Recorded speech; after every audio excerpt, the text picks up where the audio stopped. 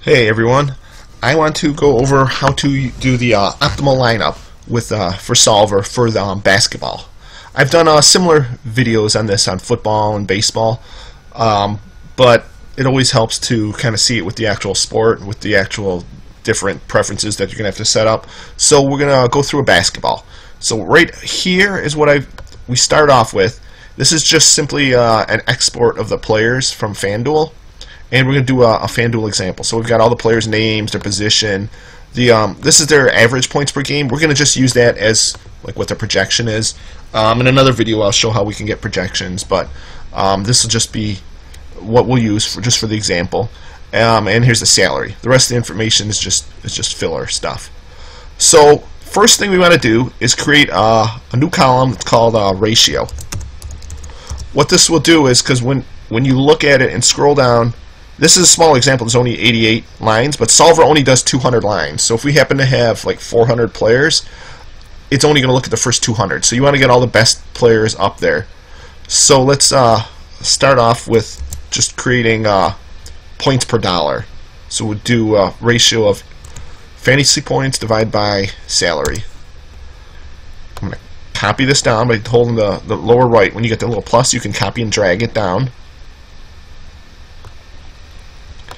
Now once we have all that, we're going to sort. You can either go up to data and then sort, or you can just put your cursor on the item you want sorted and uh, press this little um, button here.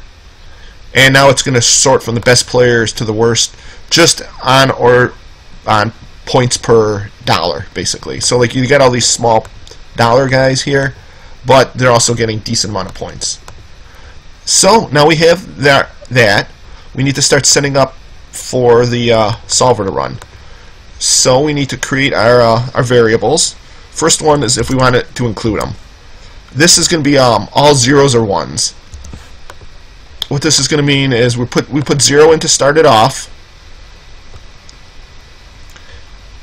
and when you run solver, solver's going to put a one in all the players that it wants to see. So now we have to go through each position so I'm going to put point guard here. Uh, let's see. Shooting, whoops. Let's do that again. Shooting guard. And we'll just go put all the all the five positions in for um, FanDuel. So there's our five positions. Now we kind of have to put a formula in here in order for Solver to evaluate it. So we're checking if this guy is in this position. position. So we check if B2, which is the position, is equal to quote PG. If it is, then we're going to do a 1 times this cell. Otherwise, we're going to put, put double quotes, so it's just basically a blank cell.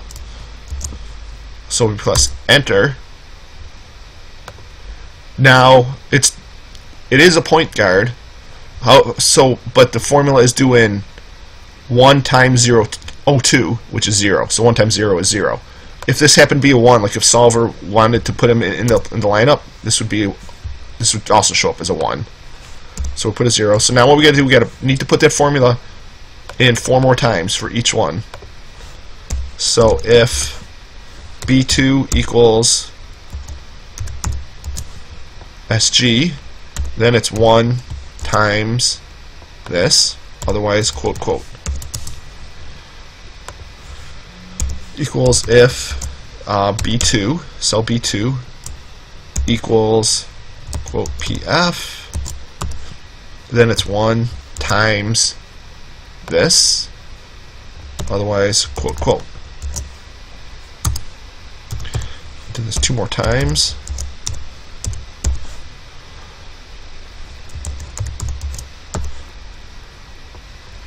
Then 1 times this, quote, quote, and the last time for centers,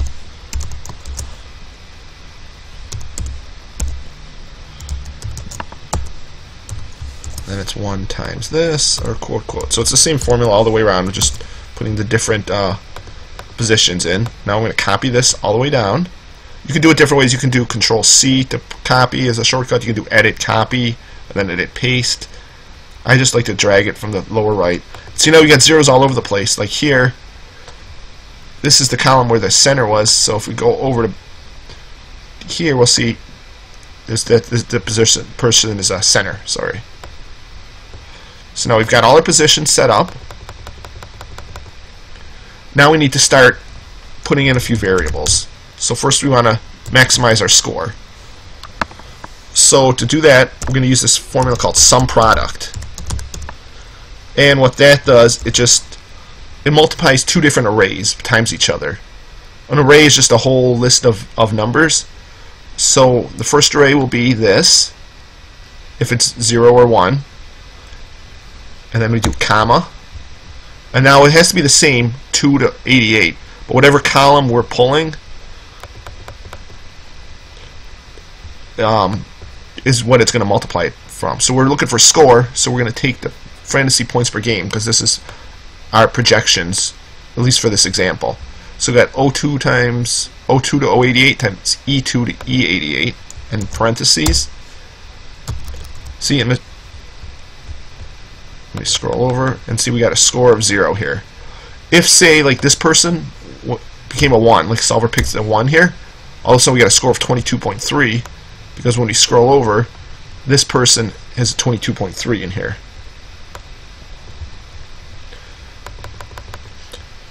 So now we're going to do salary. So now the salary is the same deal. Sum product. We're going to do this again. 02 to 088. Mm -hmm. I mean, if you have more lines, you could do up to 200. So you could set this up to 200.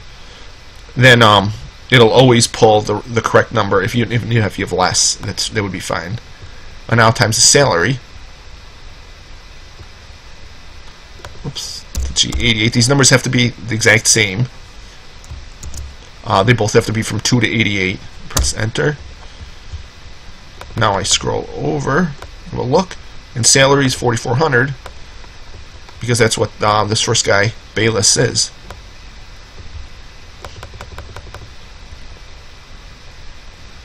Next one is the number of players in total.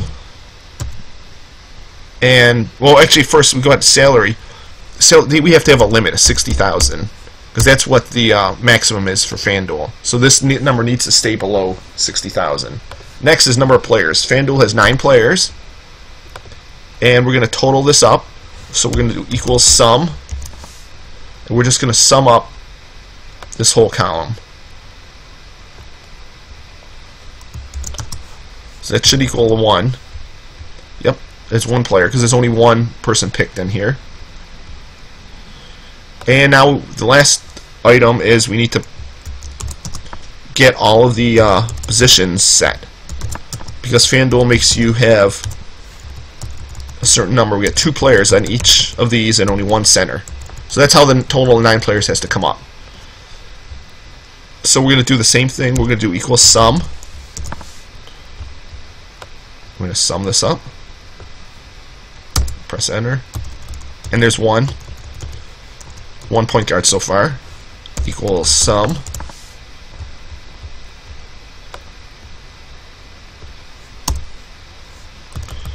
Zero shooting guards. And we're going to do this all the way down. For all five of them because solver needs something to look at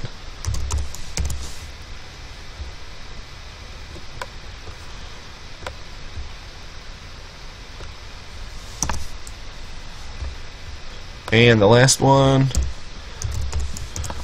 we'll have all our variables set up, and then we just got to put the restraints into solver.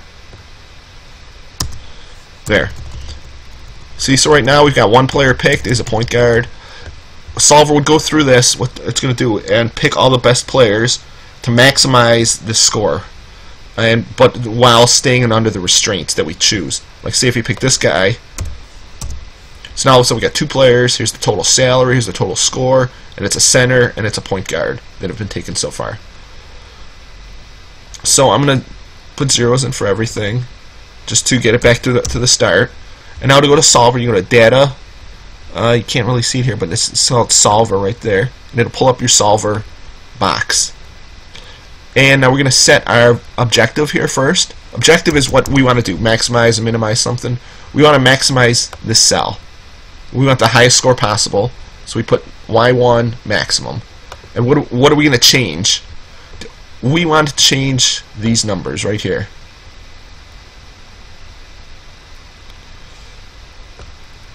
See 02 to 088.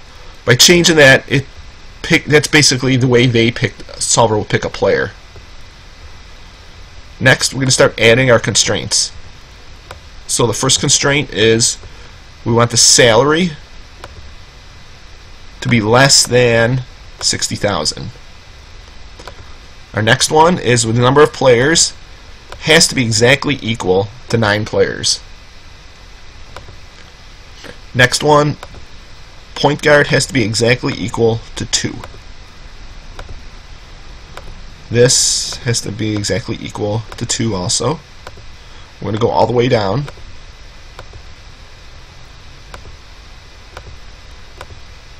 This has to be equal to 2. And this has to be equal to 1, or whatever we have in, in here.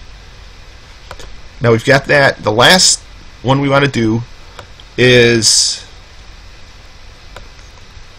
highlight all these zeros or zeros here and we're going to change this to bin binary what that's telling you uh, solver is to only put a zero or a one in there if you don't do that it'll do like two-thirds of one guy one-third of another guy whatever which would maximize the salary but obviously you can't pick two-thirds of a guy so you need binary in order to set it up right click OK. So now we've got all our criteria here. So let's review it real quick. We're maximizing the score by changing the zeros or ones, which is in here. We're making sure it's a 0 or 1 by putting binary. We want y2 to be le less than or equal to x2, which is the salary. We can't have it over 60,000. And there has to be at least 9 players, and it'd be 2 point guards, 2 shooting guards, and so on, all the way down. So with its total of 9 players.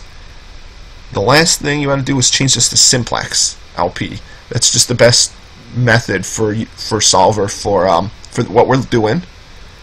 And then we're done. Click solve. It'll take a couple seconds. There. Solver found an integer, integer solution with intolerance. All constraints are satisfied. Click OK. There. So now we, solver picked nine players. This equaled out two point guards, two shooting guards, all the way down. It, it totaled right exactly to 60,000. The total score is 279. And we've got them all, all the players here. So now, with listing everybody here, I'll just show you a quick way on how to, because it's kind of tough to see, you got ones here, um, which players are actually picked. So we'll just make this cell say for their last name to show uh, how um, who, who gets picked. So we're basically going to put an if statement in here. If we want to check if this is a 1. If this equals to 1, that means it was picked. So then we want to put their last name in here. And if it wasn't picked, then we put, if it's not a 1, then what do we want to put? We'll just put double quotes. I'll click enter and the last name is Bayless. We see now if we copy this down, see Mayo was picked. No, this person wasn't picked, but we got names here. I'm going to go all the way down to 88. And now here's just a quick way of seeing uh, what person was picked. And you could do the exact same thing if you wanted to get their position in there. If this equals to 1, then Let's put their position. Otherwise, double quote. Oh, why did that not work?